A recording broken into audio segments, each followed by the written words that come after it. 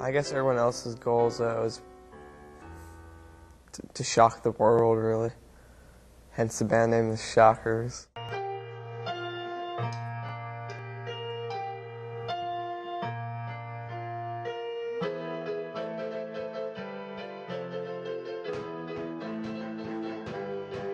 I guess the shocker, you know, it's like a, it's electrifying. Kind of like the music is like electrifying. It stimulates something in your brain. Well, my name is Rhino, and my goal in life is to rock out in the Shockas.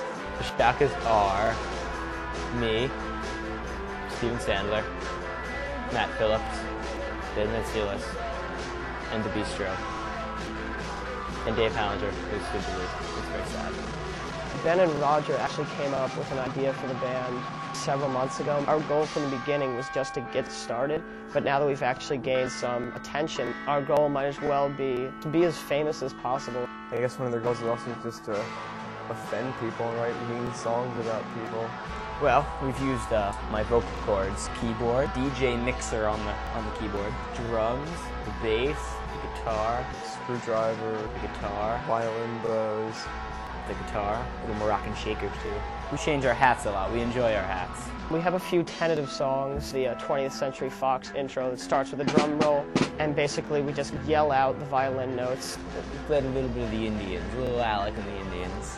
We have a surf rock song called Surf Tavy. Then, after Alex and the Indians, we fade to Alex the Indian. We have a song called Emo Steve, which is about Steve O'Neill. One of my favorites, Midnight at the Solar Motel. We have a song that is, is probably our best known song. Susie, you ain't no Christie.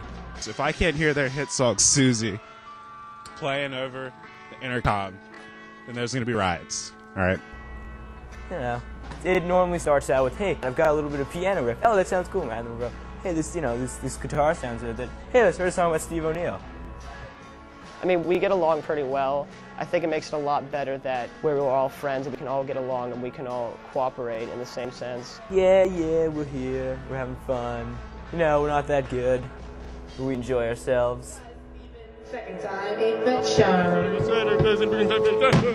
I thought the Shockas were really interesting with their music. They uh, they put on quite a show.